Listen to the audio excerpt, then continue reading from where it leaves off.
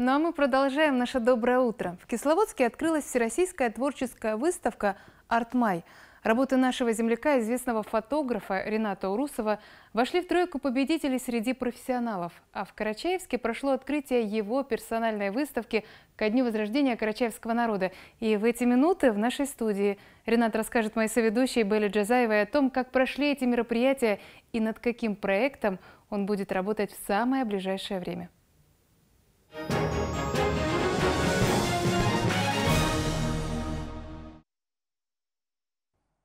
Доброе утро всем. Доброе утро, Ренат.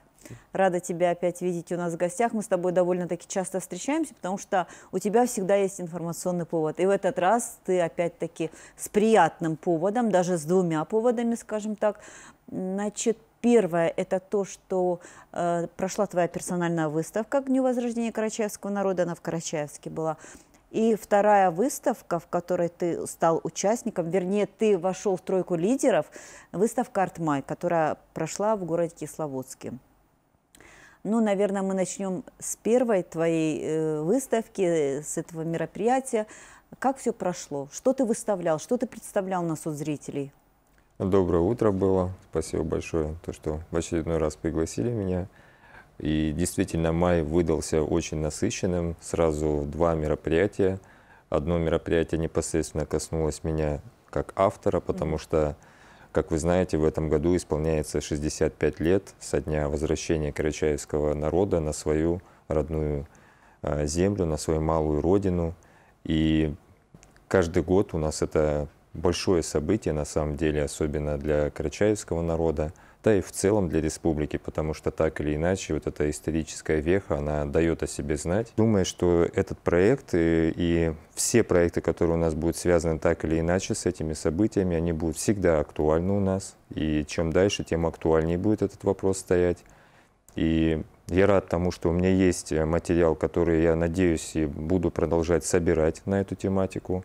И в этом году мне предоставилась такая возможность съемки, как вы знаете, сейчас а, мы только будем проводить по новой, потому что и пандемия внесла свои коррективы, и последние события тоже, конечно же, влияют на это все.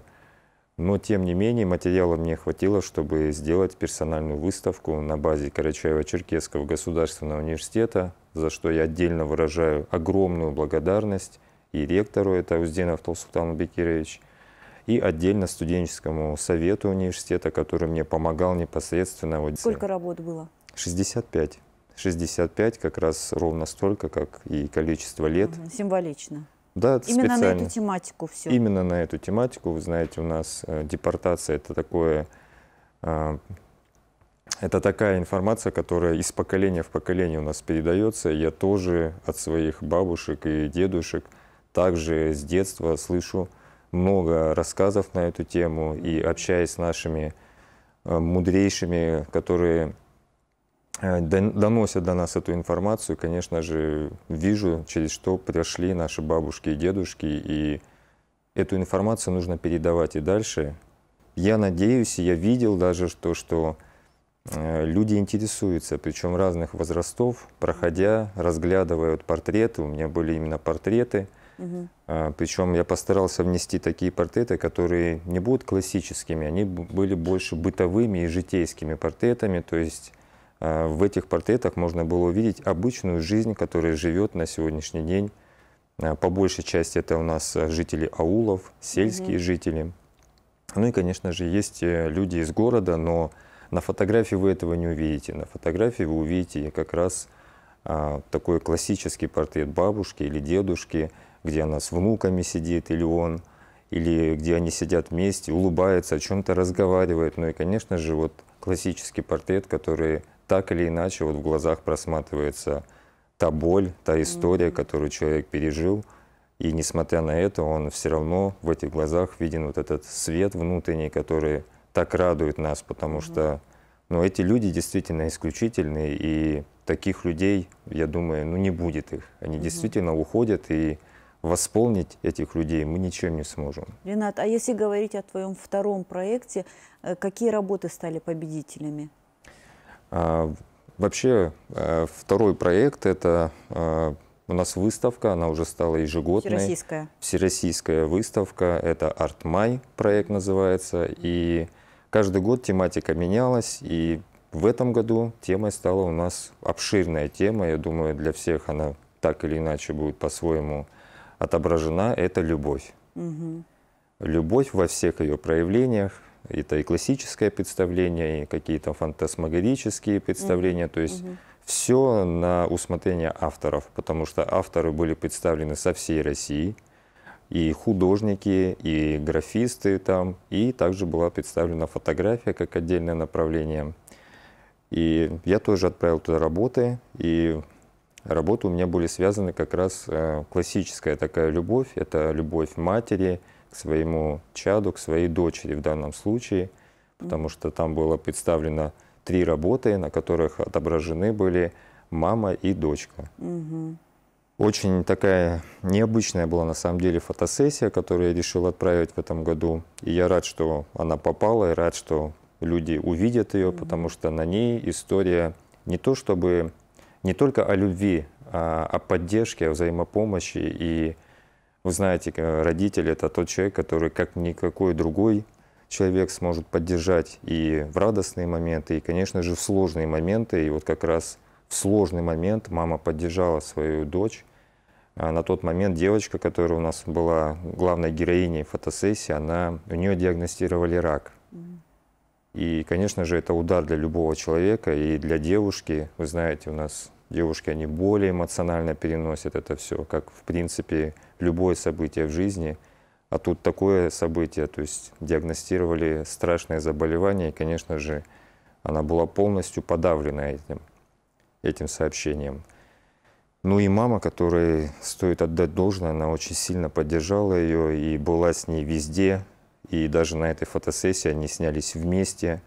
И как раз вот э, нам удалось, я думаю, я был не один, но несколько авторов, которые были представлены в фотосессии, но те работы, которые я сделал, я рад, что люди увидели вот эту взаимопомощь, и эту любовь, которая действительно, она вот всепоглощающая, потому что, несмотря ни на что, вот эта поддержка, она э, любого человека, я думаю, может поднять на ноги, и человек может воспрять духом, и такая любовь, она всепобеждающая, и любой человек, я думаю, заслуживает такой любви, и если говорить уже в, в целом о любви, конечно же, сейчас ее всем не хватает в том или ином виде. К сожалению, да.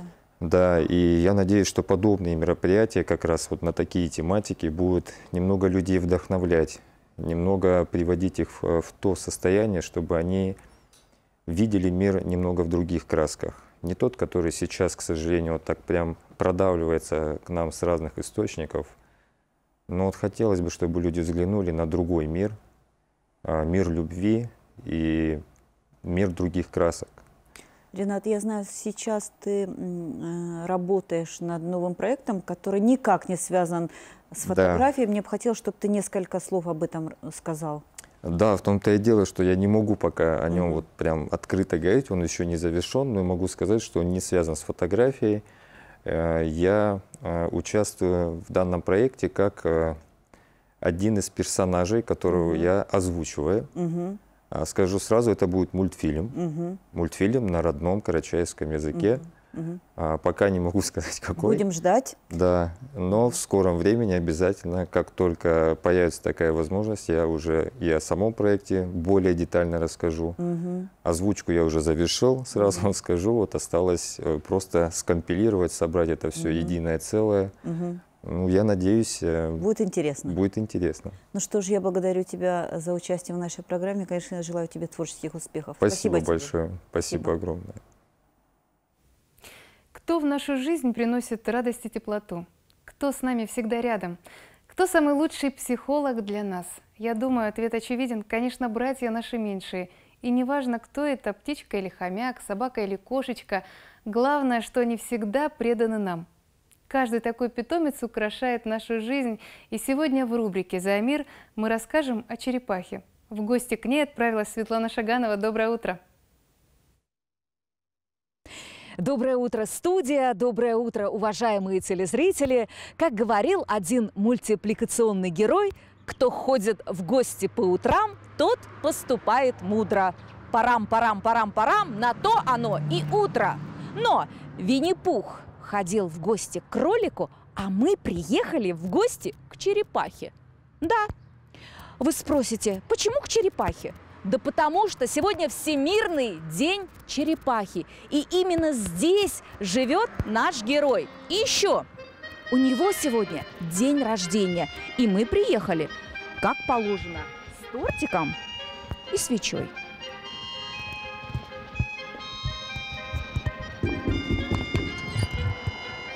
Доброе утро! Доброе. Здесь живет черепаха? Здесь проходите.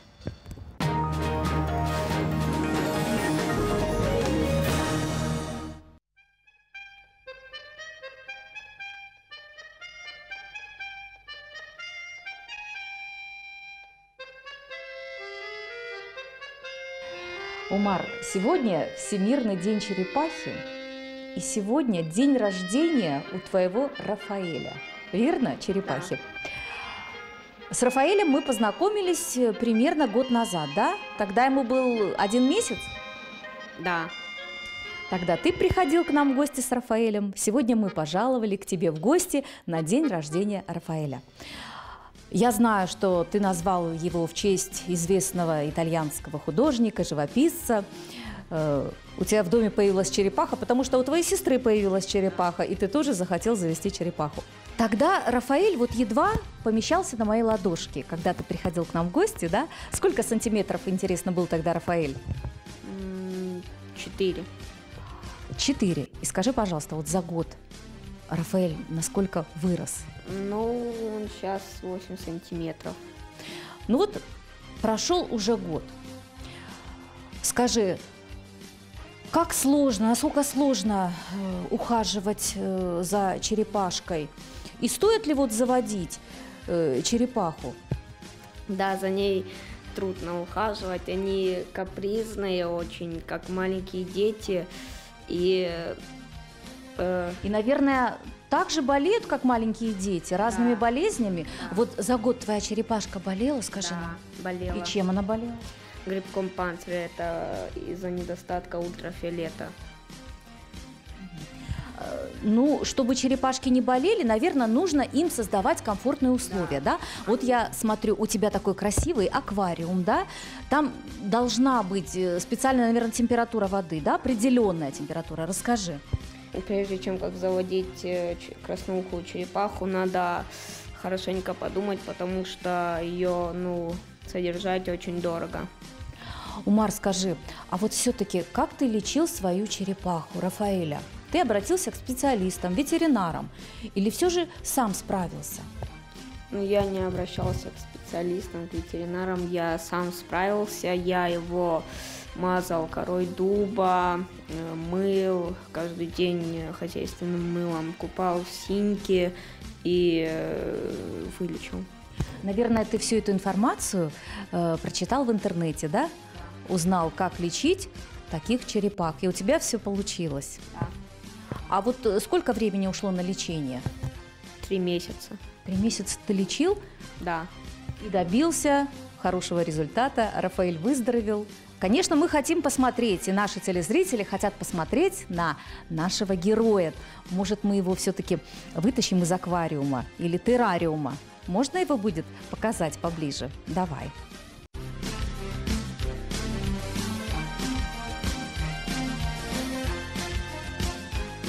Вот какой у нас Рафаэль. Так, ну, Рафаэль также прыгнет мне на ладошку, да? Умар, скажи, а вот э, Рафаэль уже максимально вырос или еще будет расти? Нет, он вырастает максимум 35 сантиметров и живет 50 лет. Ну, как э, полагается на Кавказе, да, здесь живут долгожители. Рафаэль тоже, видимо, будет долгожителем, да, ему еще жить, да и жить. Главное было бы здоровье. Так, а чем же кормить Рафаэля? Что он ест? Он ест рыбу и э, можно давать иногда овощи, но чаще всего вообще его надо кормить рыбой. Так, а какой рыбой? Ну там путасу, карась и так далее. И где ты берешь эту рыбку? В магазине покупаешь? Да. Так, наверное, нужно мелко нарезать, да? И сколько в день от рыбки он съедает в граммах? Иногда 5, иногда 10, а когда нет у него аппетита, он капризничает, я его балую гамарусом. Но гамарус это очень вредный корм, как чипсы для детей, я его даю очень редко. Ну, наверное, как и все дети, как и все люди, у него есть свой характер, да? Наверное, он капризный. Какой у него характер у Рафаэля? Ну, добрый очень, он есть черепахи, которые вообще шипят и кусаются, он вообще не кусается.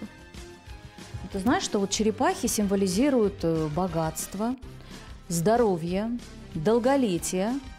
Так что вот э, я думаю, что Рафаэль э, принесет в ваш дом все, что я перечислила, и здоровье, и богатство, и долголетие.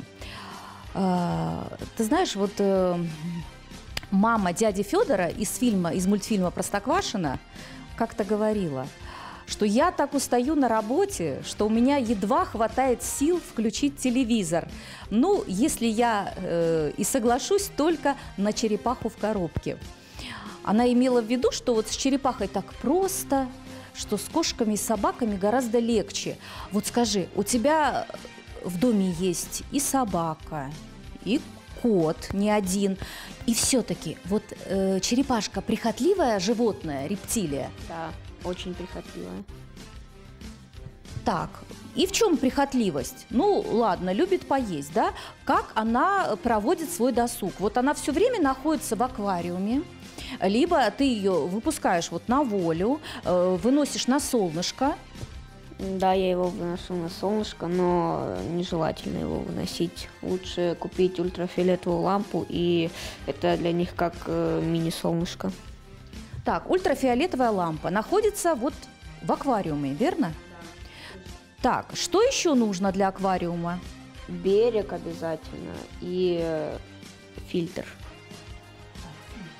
Берег это такой мини-островок, да? Да. Где Рафаэль может просто отдохнуть, да, вне воды. Так, температура воды сколько градусов?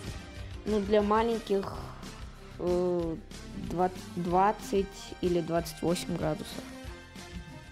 Так, а как поддерживать эту температуру? Ее нужно нагревать или как? Ну, нужно купить специальный обогреватель воды и это, э, его поставить в аквариум, и он будет греть воду. Мне кажется, это такое хлопотное дело. Проще, наверное, завести кота или собаку, да, чем черепаху. Как ты думаешь? Или ты уже привык ухаживать за Рафаэлем? Уже привык. Скажи, вот за год он стал тебе другом? Да. Черепахе нужно очень много уделять времени. Ты учишься в школе, вот полдня ты на уроках. А, Рафаэль в это время чем занимается? Наверное, ты скучаешь, думаешь.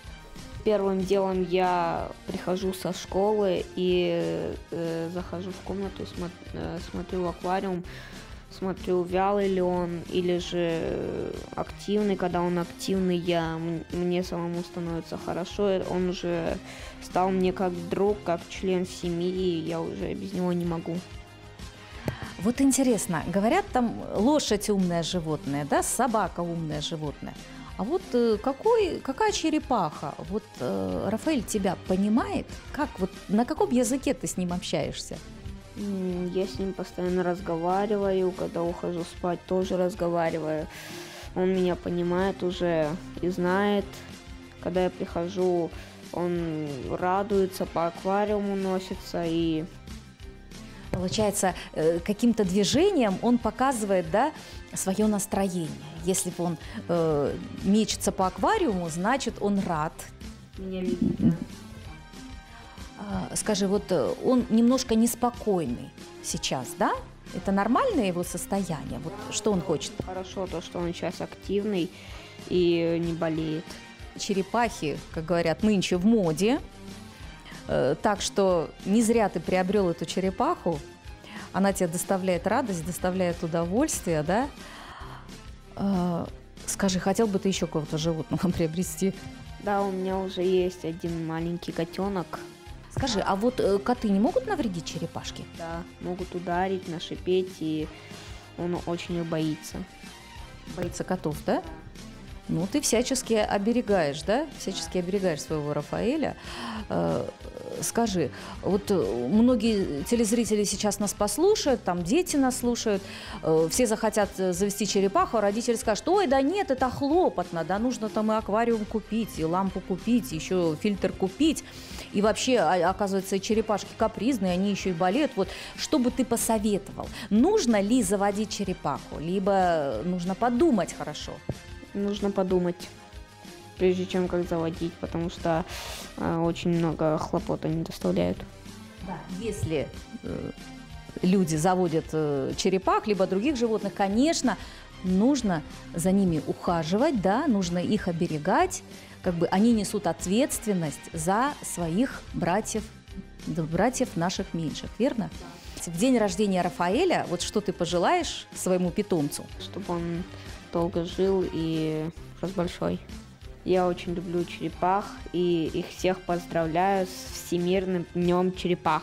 Я тоже хочу поздравить Рафаэля. Так, Рафаэль, Рафаэль, сиди аккуратненько на моей ладошке. Так, ты немножко подстрахуй, да? Я вот хочу показать нашим телезрителям. Вот сегодня Всемирный день черепахи. И еще День рождения сегодня Рафаэля. Ну надо же, вот такое совпадение, что Рафаэль родился именно в этот день. Я и Рафаэль, и Умар желаем вам удачного дня, отличного вам настроения. Всего доброго и до новых встреч. Спасибо. Завтра в это же время жду вас у телеэкранов. Но в 14.30 смотрите информационный выпуск «Вестей» Шерифат Лепшоковой. Хорошего продолжения дня. До встречи.